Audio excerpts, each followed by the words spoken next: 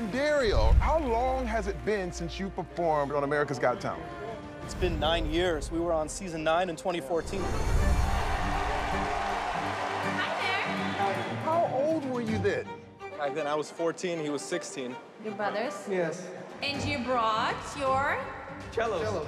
why cellos? Our grandfather taught us to play, and he's still our teacher to this day. We're so small. Look at baby face. I remember the nerves before. It was like the first time we actually got to do a big performance. I mean, wow, that was awesome. Thank you so much. For our top 12 finals performance, we gave that our all. You were phenomenal. America voted for Miguel Dakota.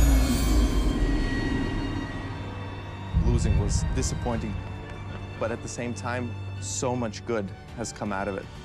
We got invited to perform with Flo Rida, Ricky Martin, and two cellos. They used to call us Two Cellos Junior, but I don't think we're juniors anymore. So. Simon Cowell is somebody who knows music and he knows entertainment. He wasn't there the first time we performed, so that really motivated us to come back. We really hope to deliver as good a performance as possible for Simon.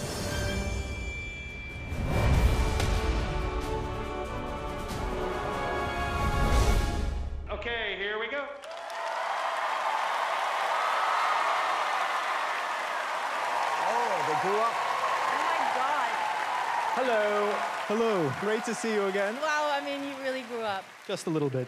We haven't met before, so can you tell us who you are, please? Absolutely. My name is Emil. I'm 25 years old. Yep, And my name is Dariel. I'm 25. Uh, I'm not 25. I'm 22 years old. you're 22.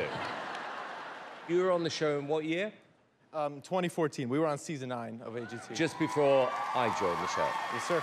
Okay, and you've got something special for tonight, yeah? We hope so. Yeah. All right, good luck. Thank you very much. Thank you. Do you remember them? I remember two little kids playing the cello. I love one is so nervous he already forgot how old he was. Yeah. Yeah. That's what happens when you're that nervous. You don't even remember anything. Okay, here we go.